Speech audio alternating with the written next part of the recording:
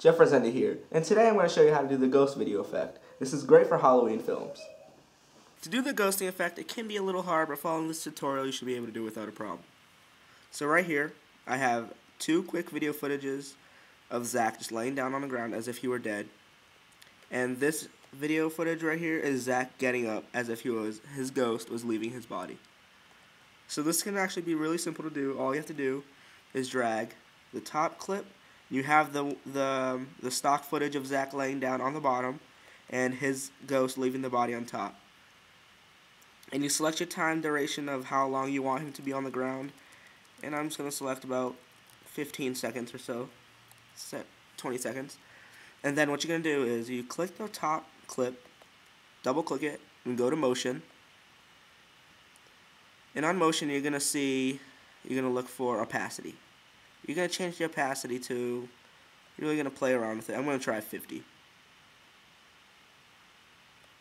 Or 49. That seems to look good. And if I'm just going to render this really quick.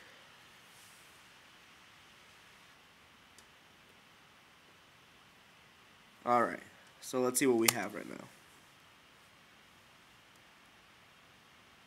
What doesn't look right about this footage is that the dead body also looks like a ghost, and that's not what we want.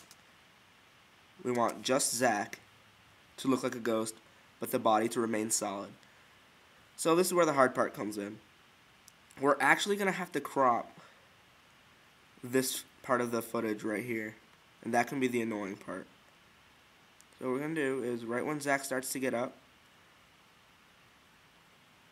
we're actually going to crop it out and keyframe it at the same time.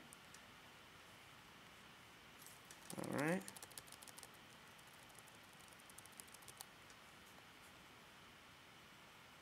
So right when Zach gets up. So this is the bottom of the clip, so you get you control the bottom. This is the top clip by the way.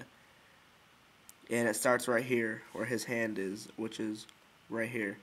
And we're gonna crop it up as Zach's body gets up.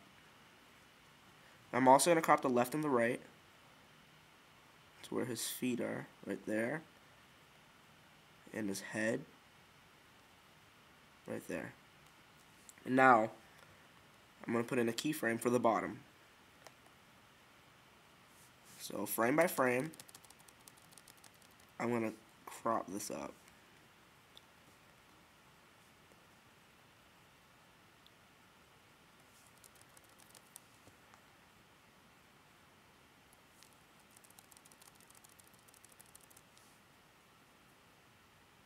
Alright. I'm actually going to move this down a little so you can see his feet. And this isn't going to be perfect. You just have to play around with it. So yours might come out better than mine. And as we have Zach walk out after he waves his arms around, as you can see, half of his legs still look transparent. At this point, I can move it up more and more. Like right here. And so Zach's body is completely solid now. And this is what the final product should look like.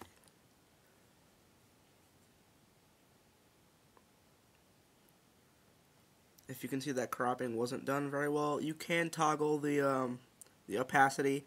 And of course yours should come out better than mine. And that's it. And there you go. Simple as that. And now you can make really cool Halloween videos.